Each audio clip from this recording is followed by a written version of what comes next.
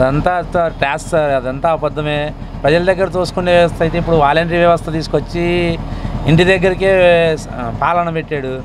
ఆయన ఒక పాలకుడు అయిపోయాడు. ఇప్పుడు ప్రజలు నాయకులు అయిపోయారు వాస్తవం చెప్పాలంటే.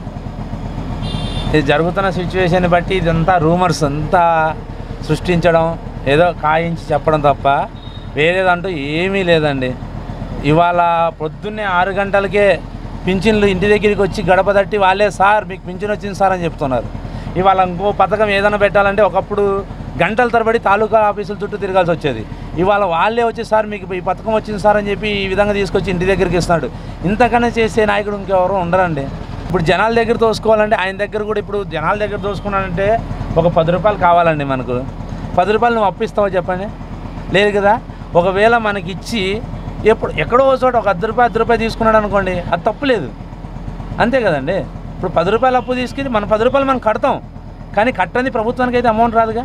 అది ఒకేసారి కాకుండా ఏదో ఒక రూపంలో తీసుకుంటున్నాడు. మనకే తెలియకుండా తీసుకుంటున్నాడు అనుకోండి. అంతే కదా? దీన్ని అయితే ఇప్పుడు ఇళ్ళ పట్టాలంటేనే ముప్పై లక్షల ఇళ్ళ పట్టాలు ఇచ్చే మూమెంట్లో ఒక్కొక్క ఇంట్లో మూ ముప్పై మందిని వేసుకున్నా కూడా మూడు కోట్ల జనాభా వాస్తవం చెప్పాలంటే.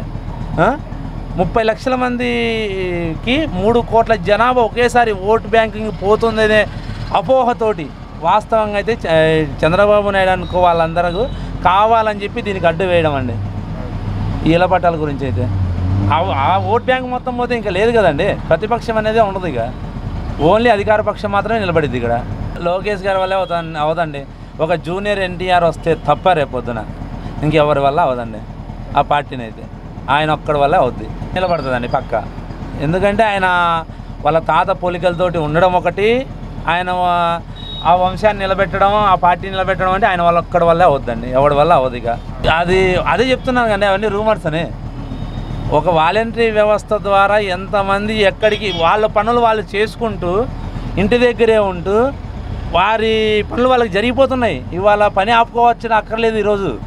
వారి పని వారికి వెళ్ళిపోతున్నారు. పొద్దున్నే ఏడు ప- పది గంటల్లోపు అన్ని పనులు అయిపోతున్నాయి. ఈ వాలంటరీ వ్యవస్థ ద్వారా ఇంటి దగ్గరికి వచ్చి సారు ప్రజల్ని కూర్చోబెట్టి వాళ్ళు నిలబడి చేతులు కట్టుకొని సార్ అంటున్నారు.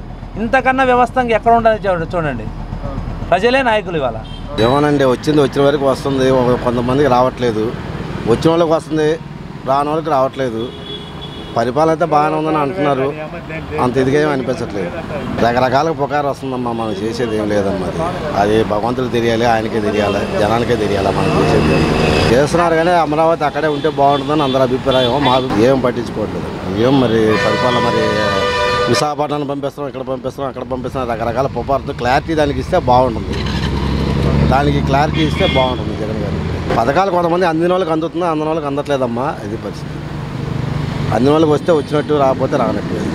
ఏమోనమ్మా తీసుకున్నది మరి ఎలా తీసుకున్నారు ఏంటో మనకు అయితే తెలియదు పాత పద్ధతి ప్రకారం ఉంటేనే బాగుంటుందని అని అనుకుంటున్నామండి. కొత్త కొత్త పద్ధతులు అంటే పాత వాళ్ళ పిల్లలు అన్ని ఎక్కడి నుంచి వస్తారు ఎక్కడి నుంచి చదువుకోగలరు ఎలా చదువుకోదు అవునమ్మా కరెక్టే. చదువుకున్న వాళ్ళు ఎక్కడున్నా చదువుకుంటారు కదా.